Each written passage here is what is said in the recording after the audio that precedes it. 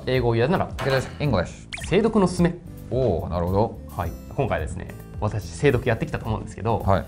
精読がなんで大事なのかとかね、うん。精読やらないとどうなっちゃうのかとかね、あと具体的な勉強法とか、はい。精読について話していきたいなと思います、はいお願いします。まず最初に精読って何なんですか？精読って何なんですか？まあ一文一文しっかりと意味を取って読むことですよね。おおなるほど、まあ、SVOC 振ったりとか文の構造を理解した上で訳していくっていうことですよね、はい。うんまあ、これ普段からやってるように感じたりもしますけど、はい。そうじゃないですね、そうですね。うん、難しい文章とかが出てきた時にそこだけ精読したりとか、あと精読用の参考書を使って SVOC、まあ、あとね、まあ、人によっては M とかね、うん。昼食語句を送ったりとか、はい。まあ、そういう練習をしていくのが精読っていうことですね、はい、通りです。ここで衝撃の事実お。伝えていいですか？はい。英語の文章を読むときに単語の意味を知っているだけでは文章を理解できない、はいははい。まあ、なんかこう英単語さえ覚えればいけるみたいな、いはいうん。思ってる人結構いるじゃないですか。ね。簡単な文法を入れたらあとはもう単語だけやればいいんだよみたいな感じで、もう難しい単語ばっかりを頑張って覚えようとする人いるかなと思うんですけど、はい。まあやっぱそれだけだとしっかり英語の意味をちゃんと理解して読んでいくことって難しいですよね、はいその通りですね。だからこそ精読が必要なんですよっていうことですね。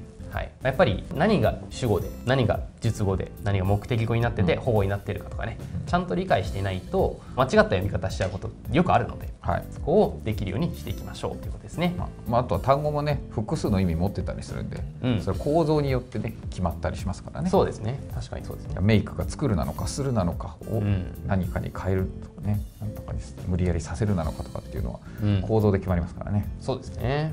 まあ、なので武田塾 English で普段から配信している情報では一応英検2級うん。までは構文解釈最悪全くやらなくても、まあ、ある程度やった方がいいと思うんですけど、はいはい。一応合格点は取れますよっていう情報を発信してきました、うんうん。ただ準1級1級とか、まあ、 TOEFL IELTS とかね、うん。目指す人に関してはもう絶対やんないともう無理です。 TOEIC に関してもねやっぱり高得点狙うんだったらやった方がいいですよね。もちろんですねという感じのことを伝えてきたんですけれど、まあ、やっぱり2級に関しても、まあ、やんなくてももちろん合格点は取れるんですけど、うん。単語をねこうつなぎ合わせて読むっていう読み方で、ただちょっと、まあ、リスキーではありますよね。うん。うん。っていうのとあんま力にはなってないかなっていうのはあると思うので、うんうんうん。しっかりと構文解釈をしていって読む力っていうのをつけていってほしいなって感じですね。はい。はい、で精読をする時のポイント、うん。何かありますか？いやいっぱいあると思いますけどね。ありすぎてどこから言っていいのかわかんないですけど。練習する時のポイントとか。はい、まあ、自分で構造が分かるようにするとかですかね。ああそうですね。本とかね、まあ、授業でもいいんですけど見てたりとかあると思うんですけど、それでその答え的なものを見て、うん。ああなるほどで終わってる人多いですね。自分でできるようになってないっていっぱいいますね、そうですね。説明自体を丸暗記しちゃう人とかもいますよね。はい、ここは統治なのでみたいな。はいはいはいはい。なんで統治なのみたいな。うん。統治以外の可能性は考えられないのかとか、うん。なんでこれは統治なのかっていうそこの説明うんもしっかりとできるようになってほしいですよね。うん。うんなので、まあ、例えば SVOC でもただ単に答えがこれが S でこれが V でこれが O でこれが C だからこうなんだじゃなくて、なんでそれが目的語なのかとかね、SVOC になってる理由っていうのをちゃんと説明できるようにしてほしいですよね。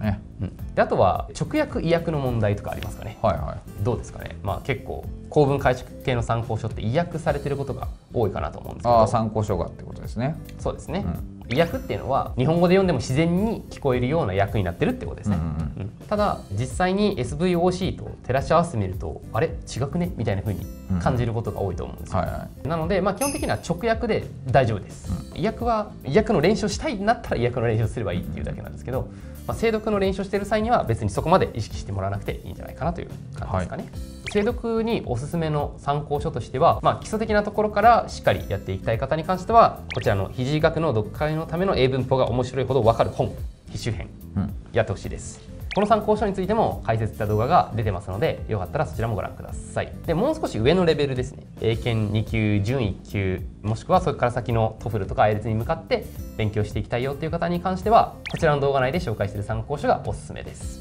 でもっと上のレベルですね、はい。もう最難関の英検1級とか TOEFL、IELTS でももう困らないぐらいもう英文解釈を完成させたいんだぐらいの人に関してはこちらの動画で紹介したポレポレですね。はいはいはやってみてほしいです。